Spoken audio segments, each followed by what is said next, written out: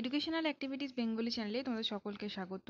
এই ভিডিওটিতে আমি আলোচনা করব ক্লাস সেভেনের পরিবেশ ও ভূগোল বিষয়ের model activity task part two এছাড়াও আমি ক্লাস সেভেনের ম্যাথ সায়েন্স ইংলিশ আর বেঙ্গলি কোশ্চেন সেটগুলো সলভ করে দিয়েছি। সেগুলোর লিঙ্ক তোমরা এই ভিডিও ডিসক্রিপশনে পেয়ে যাবে। প্রয়োজন হলে দেখে নিতে পারো।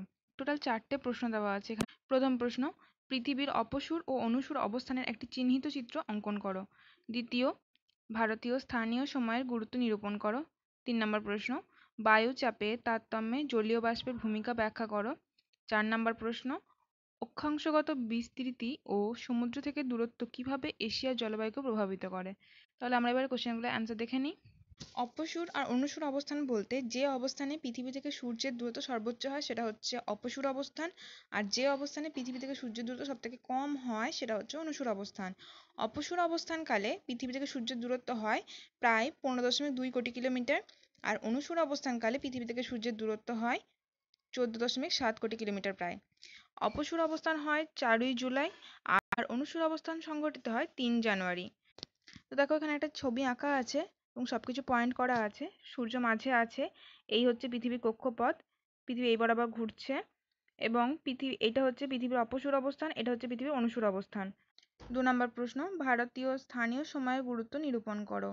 দুইয়ের প্রশ্নের অ্যান্সার পৃথিবী চব্বিশ ঘন্টায় একবার সূর্যকে পশ্চিম থেকে পূর্বে আবর্তন করে। তাই প্রতিটি দ্রাঘিমা রেখায় চব্বিশ ঘন্টায় একবার করে সূর্যের সামনে আসে।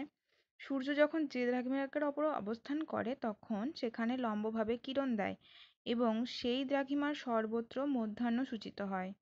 এই মধ্যাহ্ন অনুসারে ওই দ্রাঘিমার স্থানীয় সময় সূচিত হয়। তাই একই দ্রাঘিমারেখায় অবস্থিত জায়গাগুলি স্থানীয় সময় এক হয়। নাম্বার প্রশ্ন, বায়ুচাপের তারতম্যে জলীয় বাষ্পের ভূমিকা ব্যাখ্যা করো। তিনের অ্যান্সার, বায়ুতে জলীয় বাষ্পের পরিমাণ বায়ুচাপ নিয়ন্ত্রণ করে। জলীয় বাষ্প সাধারণ বায়ু অপেক্ষা হালকা বলে বায়ুতে জলীয় বাষ্প বেশি থাকলে বায়ুর চাপ কমে, এই কারণেই বর্ষাকালে বায়ুর চাপ কম হয়।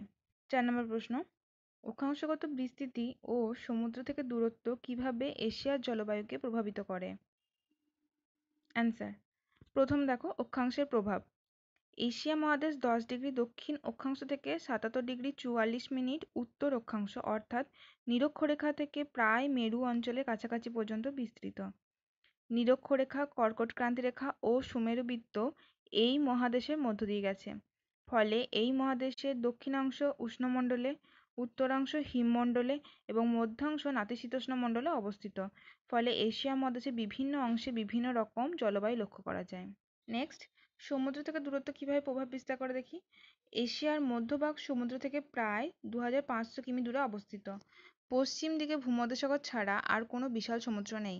ফলে সমুদ্রের প্রভাব এখানে পৌঁছাতে পারে না। তাই মহাদেশের অভ্যন্তরে শুষ্ক মহাদেশীয় বা চরম জলবায়ু বিরাজ করে।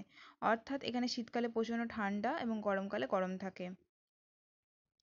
তাহলে ভিডিওটিতে আমরা ক্লাস সেভেনের মডেল অ্যাক্টিভিটি টাস্ক পার্ট টুটা সলভ করে নিলাম। ভালো লেগে থাকলে অবশ্যই লাইক করো, শেয়ার করো ভিডিওটিকে। চ্যানেলটিকে যদি সাবস্ক্রাইব না করে থাকো, তো প্লিজ সাবস্ক্রাইব করে দিও। Thank you.